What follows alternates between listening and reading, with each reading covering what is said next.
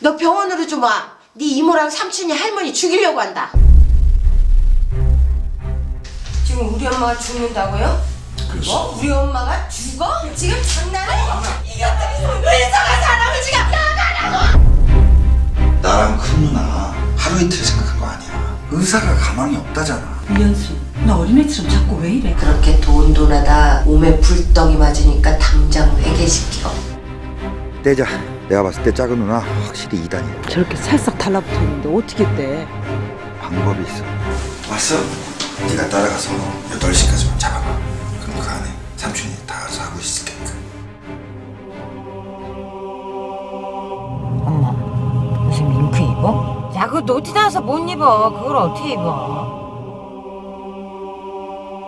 할머니 코트 어딨어? 돈 없는데 어떻게 그럼 내가 언제 그거 팔아서 돈 달랬냐고. 내가 언제 인간의 생사고락을 주관하시는 하나님 우리는 지금 당신께 위로받기 위해 이 자리에 모여 기도를 드립니다. 할머니 호흡기 못되게 막으라고. 벌써 시작했는데? 너 왜 이렇게 전화를 안 받아?